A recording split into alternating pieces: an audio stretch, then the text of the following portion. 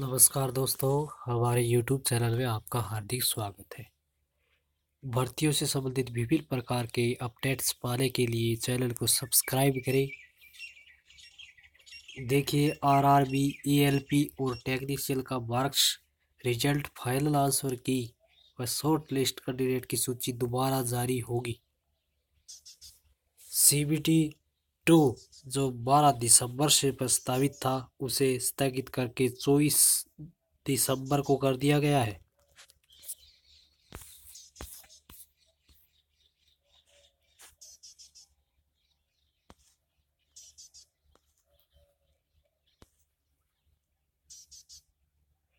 ये देखिए, चौबीस दिसंबर बारह का चौबीस कर दिया गया है।